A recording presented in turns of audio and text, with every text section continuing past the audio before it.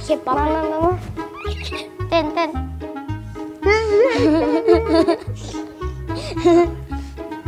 วิเอ้ยเดี๋ยวลงมาอยู่เอ้ยเป็นสะท้อนเหรอฟิลเตอร์อะไรนะ กระดูก กระดูกมีแต่หัวกระโหลกโครงกระดูกเต็มตัว หน้าตาจริงมันจะเป็นอย่างนี้ไหมเนี่ย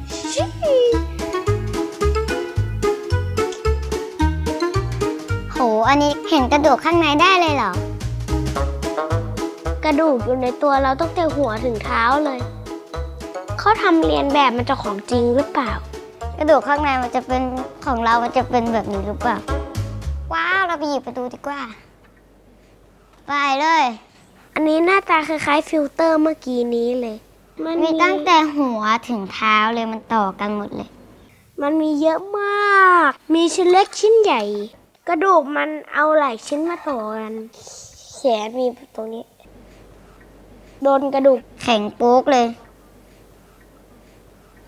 ต้องข้างมีกระดูกตรงแก้มไม่มีกระดูกแม้แต่ชิ้นหนึ่ง แต่ตรงนี้ไม่มีตรงนี้มันนุ่มนี่ไงนี่ เป็นเส้นตรงเนี้ยห้าแข็งเข็งมาก เออส่วนหน้าอกชิ้นใหญ่สุด ส่วนปากชิ้นเล็กสุด หน้าเออหน้าอกใหญ่สุด นี่น้ำท่าอู้เฮ้ยกระดูกตรงนี้มันแบบมันงอเลยข้อศอกมันงอเพราะว่ามันขยับ ขยับแขนแบบที่ตีนทำอะหัวไหล่มันก็ขยับด้วย พอเราขยับร่างกายกระดูกมันก็จะขยับด้วย ถ้าไม่มีกระดูกเราก็จะขยับไม่ได้ ถ้ากระดูกมีแท่งเดียวมันก็จะขยับไม่ได้เพราะว่ามันมีเป็นเส้นตรงแบบนี้เลยมันก็จะขยับไม่ได้ มันงอไม่ได้ ต่อไปเลยขาข้างขวา ได้แล้วอุ๊ยเอเลียนมันคือเอเลี่ยนขี่ม้าไปค่ะหนึ่งสองสามอุ้ยโอเคไม่ได้ เอเลียน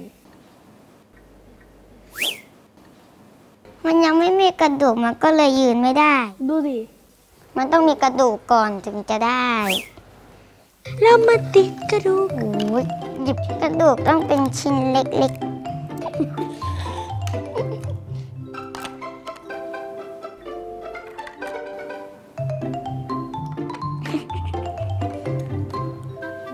ให้ชืบ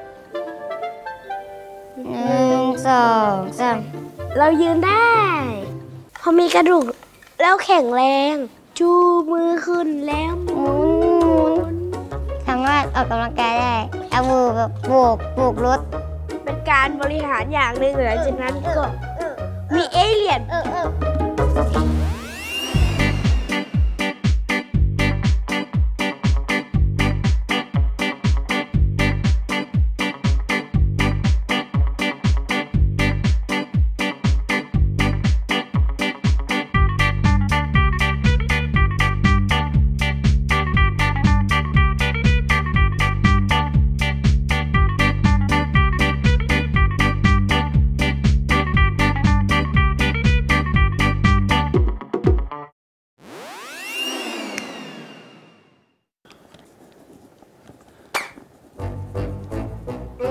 ลองวาดกระดูกแมวกันเล่นจับนะ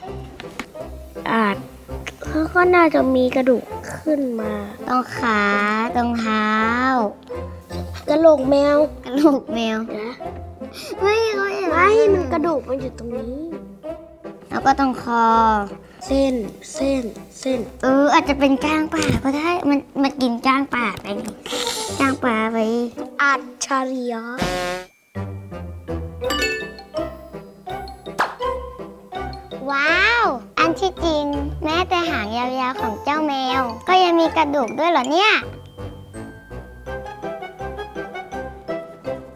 นนี้คือเต่าอยากมันต้องเป็นแบบเนี้ยแล้วก็มีแบบเส้นๆไหมหางมันก็ต้องมีกระดูกแล้วก็มีส่วนหัว ไม่ไม่กระโหลกแบบนี้ไมันไม่เหมือนเออมันจะเชื่อมไปตรงขานะอ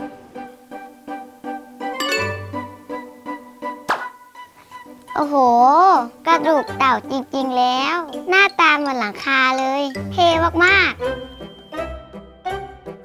กระดูกงูก็จะ เขาเรียกว่าอะไรโค้งไปโค้งมา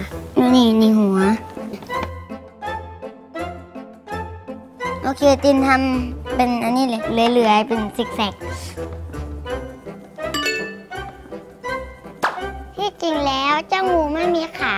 แต่มีกระดูกเล็กๆตามตัวเยอะมากเลยนะเนี่ย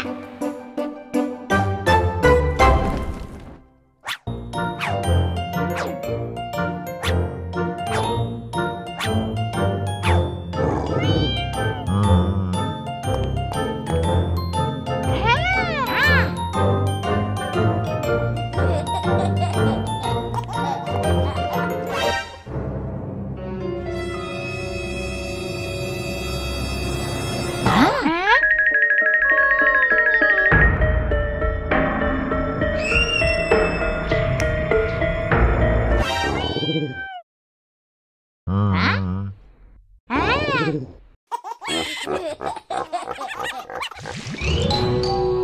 ha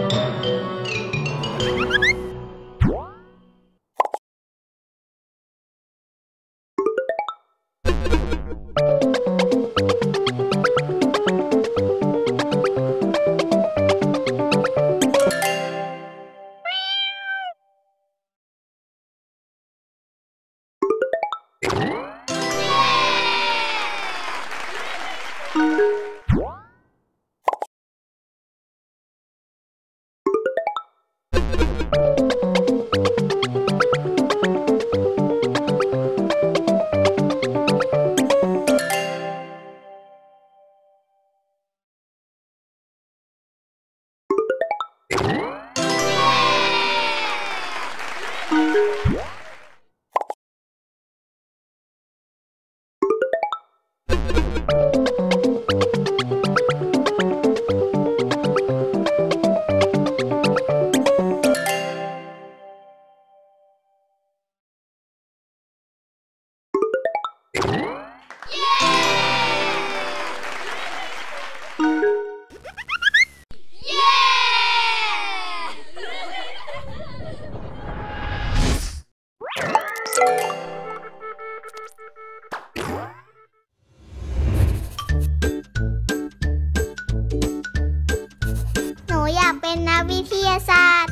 อยากประดิษฐ์พัดลมอัตโนมัติ เวลาอากาศร้อนๆ พัดลมก็จะมีเซ็นเซอร์ และเปิดลมเย็นๆให้เราทันทีเลยค่ะ แบบนี้แล้วก็ไม่ร้อนแล้ว เย้ใครอยากเป็นนักวิทยาศาสตร์น้อย ยกมือขึ้น ส่งรูปถ่าย แล้วเขียนบอกมาด้วยว่า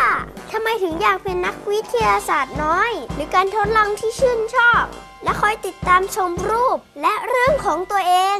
ออกอากาศทาง รายการบ้านนักวิทยาศาสตร์น้อยกันได้เลย รีบส่งมาทาง Facebook Fanpage บ้านนักวิทยาศาสตร์น้อยกันเร็วๆนะ